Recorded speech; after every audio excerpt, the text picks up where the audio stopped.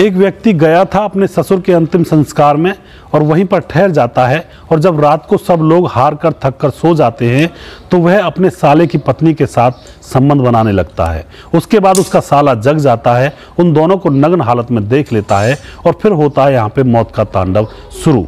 आखिर ऐसा क्या होता है दोस्तों जो यहाँ पर एक की मौत हो जाती है? इस घटना की पूरी सच्चाई जानने के लिए आप हमारे वीडियो को अंत तक ज़रूर देखिएगा। नमस्कार, मैं हूँ सुदेश कुमार और तिरछी बात चैनल में आपका स्वागत है।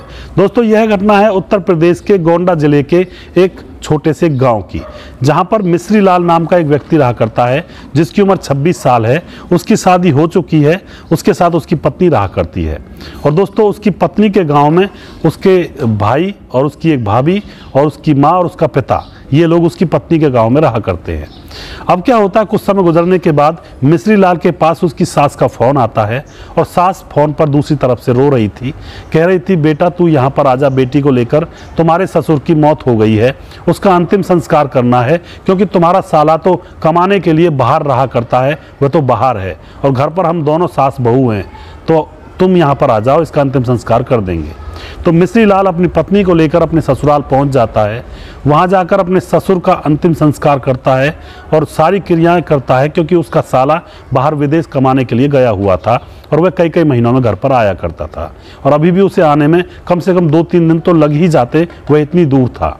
तो दोस्तों, मिश्री लाल अपने ससुर का अंतिम संस्कार कर देता है। उसके बाद शाम होती है, शाम को सभी लोग थक जाते हैं और थक हार कर सो जाते हैं। उसके बाद क्या होता है? रात होती है तो उसके साले की जो पत्नी होती है, वह उसके कमरे में आती है।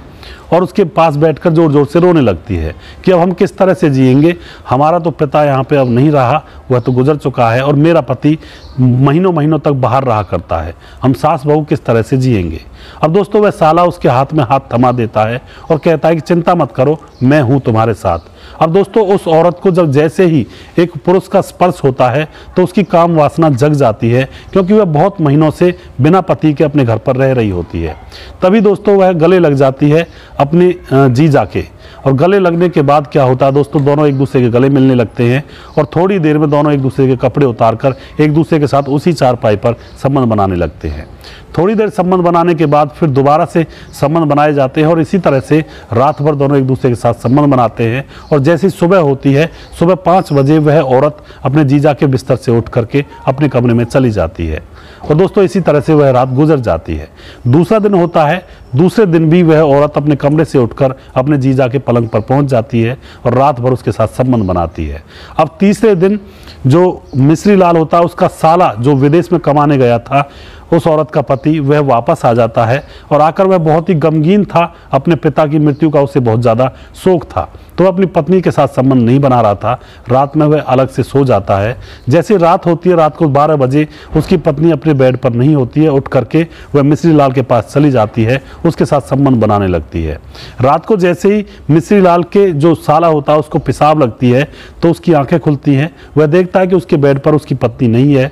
तो वह पेशाब करने के लिए जाता है, पत्नी को ढूँढने के लिए भी जाता है। तो उसको सुनाई देता है कि उसके जीजा के कमरे में से कुछ अजीब अजीब सी आवाज़ें आ रही थी। वह खिड़की से झाँक कर देखता है तो उसकी पत्नी और उसका जीजा नग्न अवस्था में बेड के ऊपर संबंध बना रहे थे। दोस्तों, वह आपे से बाहर हो जाता है, एकदम से दरवाज़ा खोलता है और घर के अंदर, कमरे के अंदर प्रवेश कर जाता है। और ज़ोर ज़ोर से अपनी पत्नी को गाली देने लगता है और अपने जीजा को भी गाली देने लगता है। लेकिन उसका जीजा और उसकी पत्नी एकदम से उठते हैं, उसके मुँह को बंद कर देते हैं हाथों से, जिससे कि उसकी आवाज़ किसी और को सुनाई ना दे। वो उसके मुँह को इतनी बुरी तरह से बंद करते हैं कि थोड़ी देर में उसका दम घुट जाता है और उसकी जान वहीं पर निकल जाती है तरफ़ तरफ़ का। दोस्तों, उस शोर शराबे को सुनकर मिश्री लाल की सास और मिश्री लाल की पत्नी भी उस कमरे में आ जाती है और देखती है कि वहाँ पर मिश्री लाल का साला मरा हुआ पड़ा है।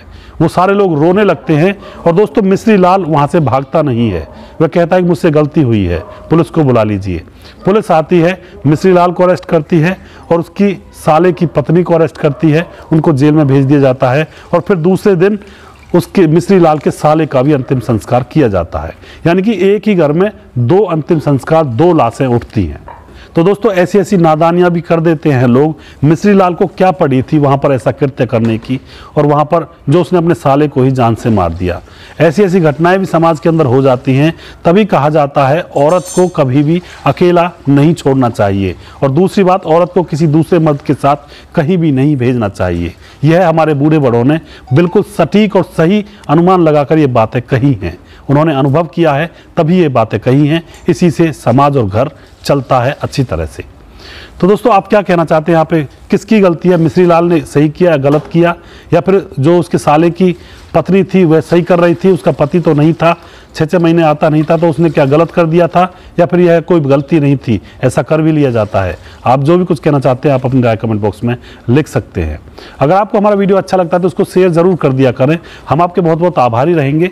अगला प्रोग्राम मैं बहुत जल्दी फिर से लेकर आऊँगा किसी सच्ची घटना के ऊपर। तब तक आप खुश रहें, सावधान रहें, रिश्तों की अहमियत को समझें और कभी भी अवैध संबंधों में ना पड़ें, ना किसी और को फंसाएँ। जय हिंद, जय भारत।